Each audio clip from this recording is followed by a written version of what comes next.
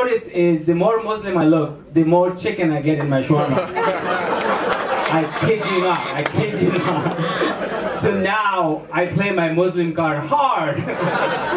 like I open strong, I show up like, um, Assalamu alaikum, my brother. Can I get a chicken shawarma, please? And as he's making my shawarma, I look at a random white guy, like infidel, infidel. and he skips the vegetable, I get more chicken.